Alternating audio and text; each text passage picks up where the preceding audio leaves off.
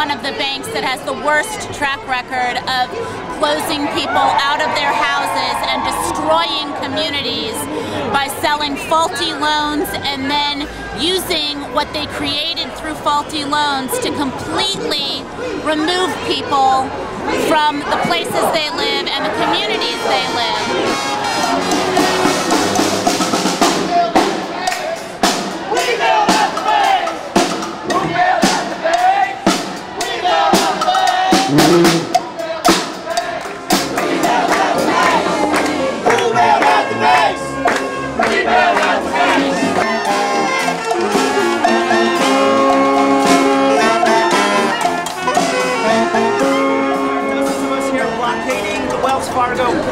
Is enough. Personally, my family, my parents lost their home. They had to move into my uncle's home, and his home was also foreclosed on.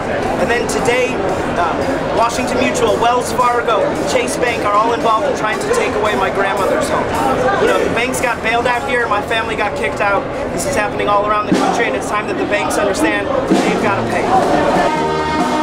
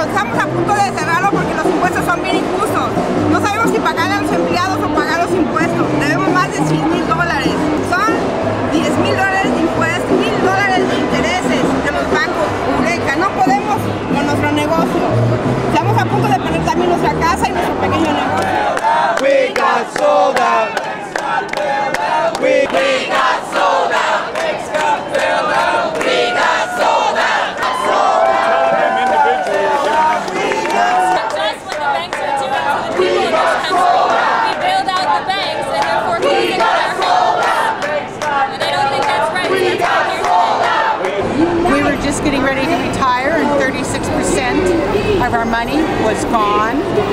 Uh, and now just recently our health insurance has gone up to where it's almost half of my husband's retirement. So that's very concerning. But, you know, I want my money back and I want Wall Street held accountable. And that's why I'm here. In Oakland, 90% of the foreclosures are concentrated in three in three zip codes. So you can tell that it was systematic. It wasn't just, you know, it's not distributed evenly across the city. It's like concentrated in deep East Oakland where people are uh, elders, a lot of elders were targeted. We also have a lot of people who are monolingual Spanish speakers who were targeted and some of the poorest black people. A mí me quitaron tres casas. Me engañaron, me, me, me dieron un préstamo y a los dos años me cambiaron el préstamo. Cada uno de los préstamos me lo subieron aproximadamente entre 1.200 más por mes y 1.500, la cual yo no pude mantenerlos. El Fargo está siendo injusto con nuestra gente, hispanos. Están quitando casas. Muchas personas ahora lo que están haciendo es estar durmiendo en los carros. Conozco amigos que están durmiendo en los carros. Además, de que cuando los bancos agarran las casas, no se hacen cargo de las reparaciones y las casas se están cayendo, están llenas de racún, de cucarachas, de ratas. Por eso estamos aquí, porque prefieren tener ratas, cucarachas en las casas y no la gente viviendo. Porque no saben equilibrar, porque prefieren la riqueza y no tienen nada en el corazón para la gente, solo para el dinero.